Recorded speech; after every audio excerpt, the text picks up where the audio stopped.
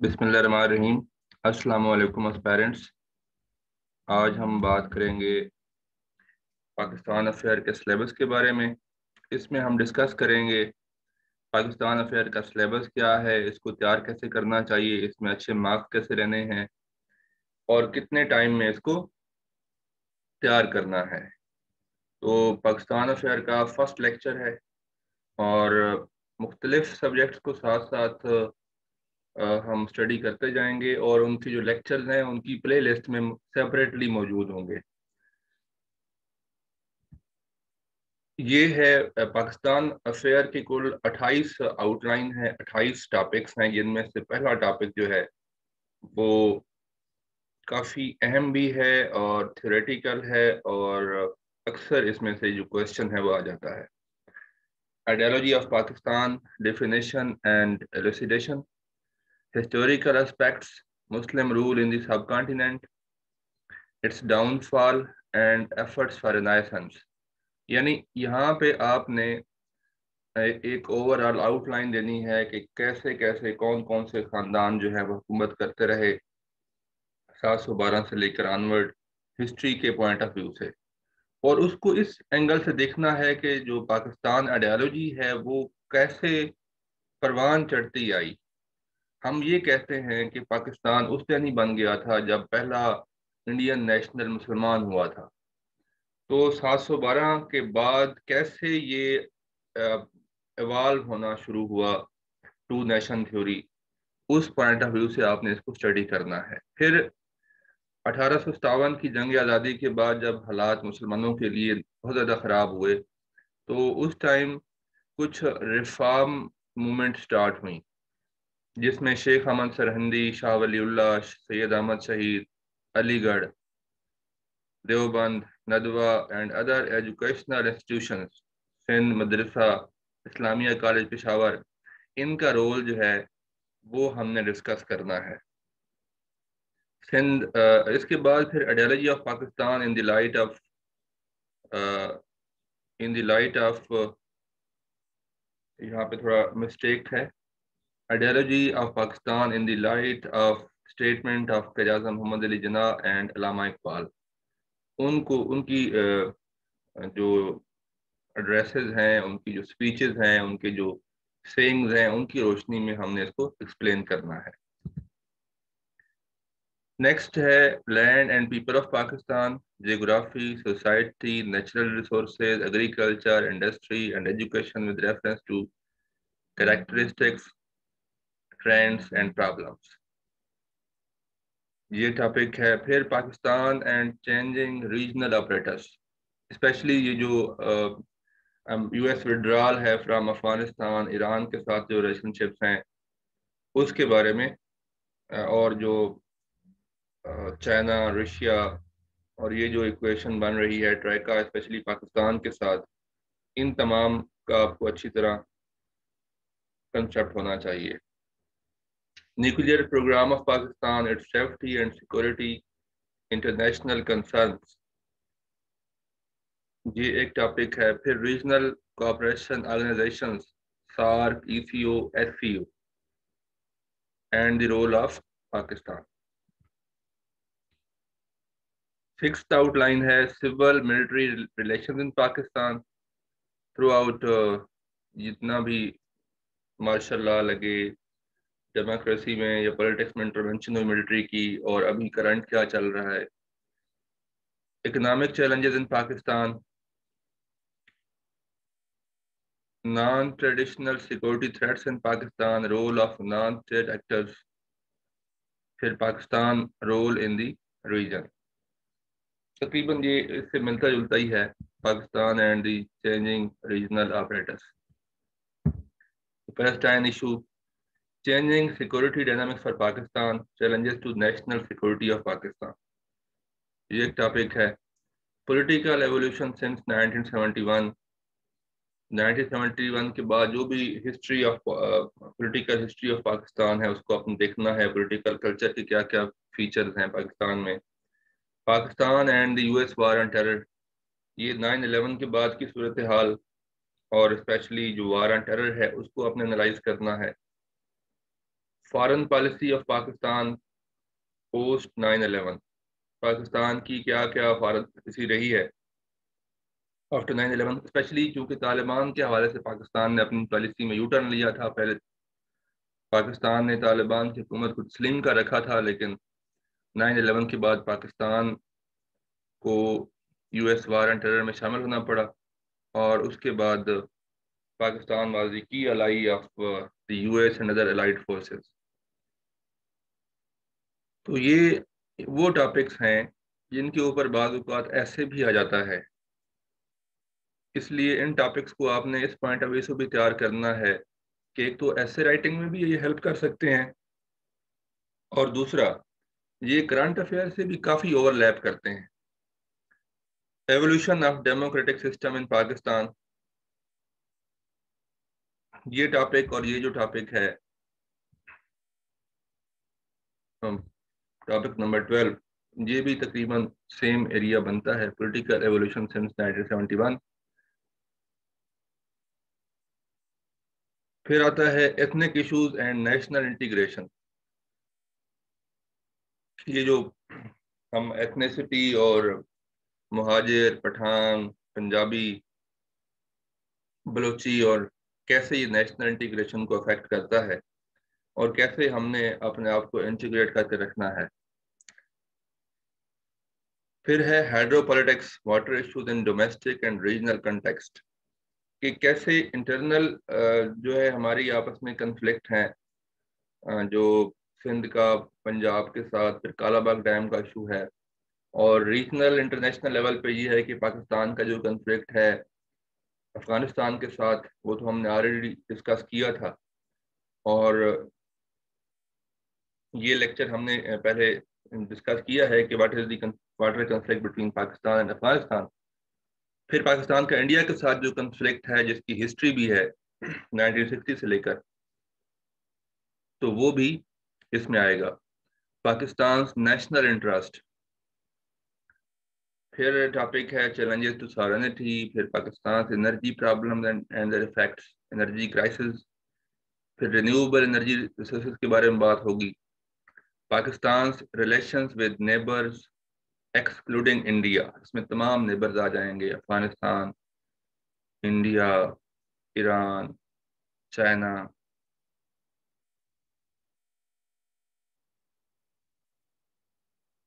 फिर Pakistan and India relation since 1947 इससे पहले वाला पोर्शन आई थिंक वो पाकिस्तान या इंडो पाकिस्तान हिस्ट्री में आ जाता है, जो 1947 से पहले का है। लेकिन बहरहाल इसमें आपने वो तमाम पोर्शन जो है, वो भी चूँकि डिस्कस करना है, क्योंकि वो इसमें आ जाएगा। ये जो फ़र्स्ट टॉपिक है, इसमें हिस्टोरिकल एस्पेक्ट्स में तमाम चीज़ें आ जाती हैं। आपने उनको ओवरलुक नहीं करना। कश्मीर इशू ये वैसे तो उसी में कवर हो जाता है Pakistan and India relation since 1947 लेकिन कश्मीर इशू की पूरी हिस्ट्री आप देखेंगे तो फिर ये इससे पहले से भी शुरू होगा। सियासत को कैसे वो ट्रिटी ऑफ़ अमृतसर क्या है, कैसे इसको पचहत्तर लाख नानक शाही रुपया में बेचा गया।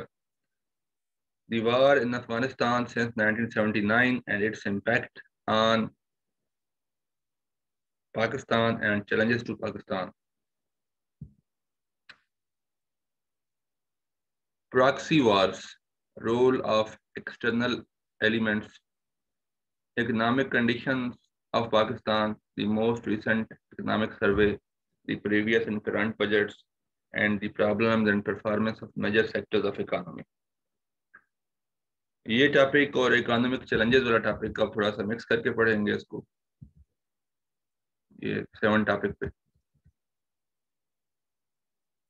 The recent constitutional and legal debates, the, the latest constitutional amendments, and important legis legislations, legal code, legal cases, and the role of higher courts.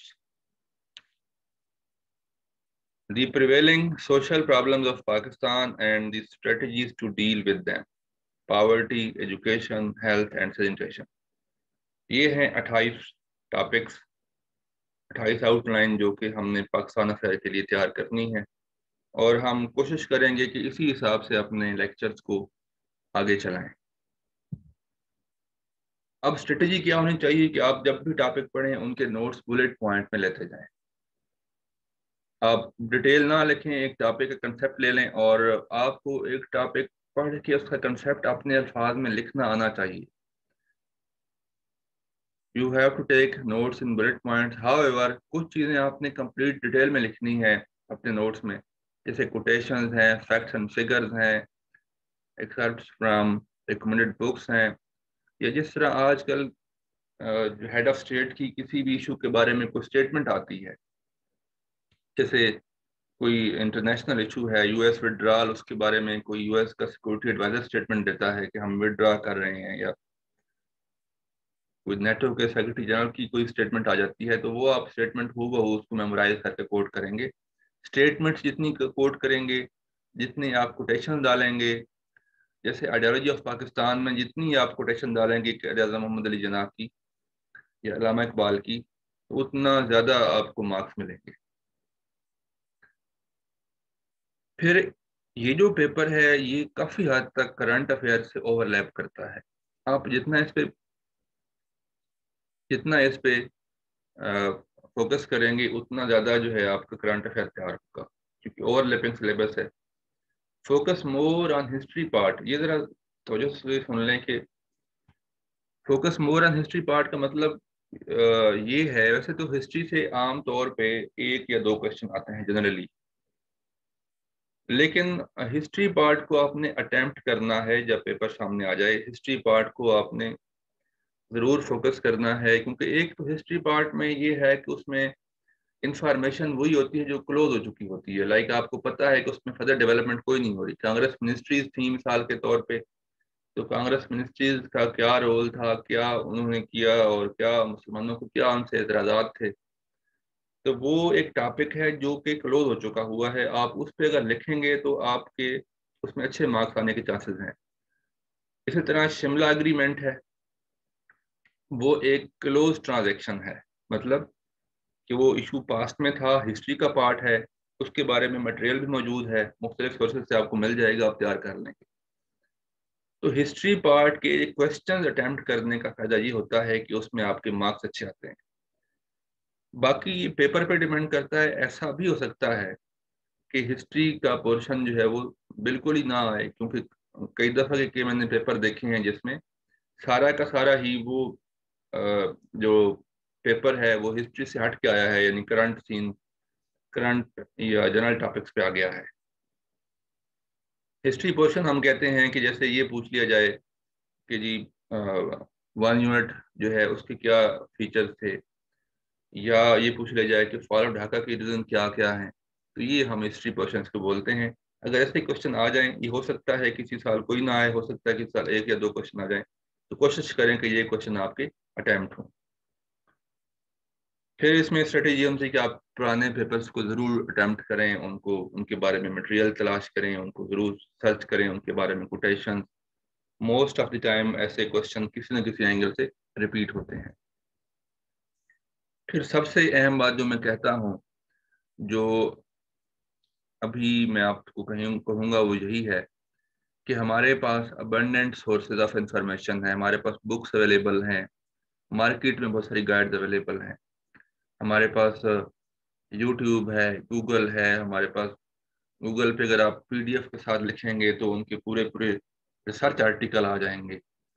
तो अगर आप ये सोच लें कि मैंने इस टॉपिक को सारा का सारा, हर एंगल से तैयार करना है तो हो सकता है आपको एक आउटलाइन जो है, इनमें से कोई सी भी एक आउटलाइन तैयार करने में आपको हो सकता है, महीना लग जाए। और दूसरा, आप कभी सेटिस्फाई नहीं हो पाएँगे। उसका तरीका ये है कि आप ये टाइम रख लें कि मैंने एक आउटलाइन एक दिन में तैयार करनी है। एक दिन में आप उसके तमाम एंगल को स्टडी करने की कोशिश करें in the light of past papers कि कोई ऐसा एंगल मिस ना हो जो पास्ट पेपर में आया हो। तो फिर आप एक दिन में जितना तैयार कर सकते हैं कंप्रिहेंसिवली और बैलेंस तरीके से, उसके ऊपर फिर आप कंटेंट कंटेंटेड हो जाए कि बस ठीक है, मेरी इतनी ही तैयारी काफ़ी है।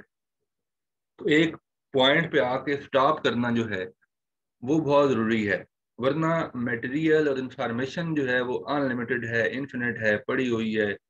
हर आथर ने हर आ, किसी ने डिफरेंट एंगल से एक टॉपिक को लिखा हुआ है और अगर आप इस ऐसा नहीं होगा कि आपके पास मटेरियल ख़त्म हो जाए नया से नया मटेरियल आपके पास आता रहेगा। तो यू हैव टू आप अपने नोट्स बनाएँ और उसी के ऊपर एक कहीं पे एक अपनी लाइन लगा दें कि यहाँ से ये टॉपिक मैंने इतना तैयार करना था और इतना कर लिया है। ऐसा करेंगे तो आप आसानी में रहेंगे अदरवाइज़ आप कंफ्यूजन में रहेंगे कि आपके सारे टॉपिक्स आपको फील होगा कि कोई भी तैयार नहीं है। Prepare for M C Q separately give four to five days separately for M C Qs क्योंकि M C Qs twenty percent portion है ट्वेंटी मार्क्स का है। तो इसको आपने सेपरेट टाइम देना है। पुराने पेपर जब देखेंगे एमसीक्यूज के तो वहाँ से आपको आइडिया होगा कि किस तरह के एमसीक्यूज आते हैं और एमसीक्यूज को सेपरेटली तैयार करें। आपने एमसीक्यूज को ऐसे नहीं छोड़ना कि मेरी तैयारी हो गई उसको बाकायदा तौर पे आपको चार से पाँच दिन देना पड़ेंगे। और उसको, उसके, उसको एनालाइज करें कि किस तरह के क्वेश्चन आते हैं और कैसे मैंने उसको तैयार करना है। इसको सेपरेट आपने टाइम देना है। अब हम बात करते हैं स्ट्रेटेजी के how to get maximum marks सबसे पहले आपकी अंडरस्टैंडिंग और कंसेप्ट वो आपके अच्छे होने चाहिए। जब आप लिख रहे हो तो आपको पता हो कि आपके कंसेप्ट क्या है। आप कंफ्यूज ना हो, आपका हर पॉइंट पे, हर एक इशू पे एक ओपिनियन मौजूद हो। जितनी कोटेशन डालेंगे, जितने रेलेवेंट फैक्ट्स एंड फिगर डालेंगे, जितने आप रिकमेंडेड बुक से कोटेशन डालेंगे अपने लेक्चर्स में, अपने टॉपिक्स में, अपने राइटिंग में, उतना ज़्यादा आपको मार्क्स मिलेंगे। और वो चीज़ होनी चाहिए जो आपके आर्गूमेंट्स को सपोर्ट करे। यानी आपने एक आर्गूमेंट देना है, उसको हमेशा कोटेशन से फैक्ट एंड फिगर से और किसी इकतबास से जो कि रिकमेंडेड बुक से उठाया गया हो और मेमोराइज आपने करना है उनको। यानी उनमें बिल्कुल वही हो बहु उसी तरह कोट करना है, उससे आप अपने आर्गूमेंट को सपोर्ट करते हुए आगे बढ़ेंगे। फिर प्रेजेंटेशन ऑफ़ दी पेपर है। कि जहाँ जहाँ पे रिलेशनशिप की बात होती है, कोई रीजनल कंफ्लिक्ट की बात होती है, वहाँ पे मैप ज़रूर बनाएँ। फिर इंपॉर्टेंट आर्गूमेंट्स को इंपॉर्टेंट फैक्शन फिगर्स को ज़रूर हाईलाइट करें। हैंड राइटिंग आपकी अगर बहुत अच्छी रखें, अगर अच्छी नहीं है तो लेजिबल कम अज़ कम ज़रूर होनी चाहिए। उसमें हेडिंग्स डालें और कोशिश करें कि आपका फ़ॉन्ट आपकी हैंड राइटिंग अच्छी हो। इसको आप जेन में टारगेट रखें कि इसके ऊपर, मैंने थर्टी डेज़ से ऊपर नहीं लगाने। यानी थर्टी डेज़ में कवर करने की कोशिश करें। जस्ट मैंने एक आइडिया दिया है कि अट्ठाईस टॉपिक्स हैं तो आप एक दिन में एक टॉपिक करें, या एक दिन में कहीं दो भी कर लें। पच्चीस, छब्बीस दिनों में अगर आप कर लेते हैं तो आप तीन, चार दिन उस पर लगा लें, चार, पाँच दिन तो आपके तीस, इकतीस दिनों में ये टॉपिक जो है, वो पूरा पाकिस्तान अफेयर का सिलेबस तैयार हो जाएगा। यू शुड ट्राई हार्ड कि ये thirty days around thirty days तक तैयार हो जाए। ये बात मैं पहले कर चुका हूँ कि आपने हर टॉपिक के ऊपर पीएचडी नहीं करनी, बल्कि आपने एक टॉपिक को इस तरीके से कम्प्रीहेंसिव तैयार करना है कि आपका जो पेपर है सीएसएस की रिक्वायरमेंट के मुताबिक वो तैयार अच्छे अटैम्प्ट अच्छा अटैम्प्ट हो जाए। और सी की रिक्वायरमेंट आपको आइडिया होगा पुराने पेपर देख के just learn to end the research when you think you have done enough. ये मैं बात पहले कर चुका हूँ।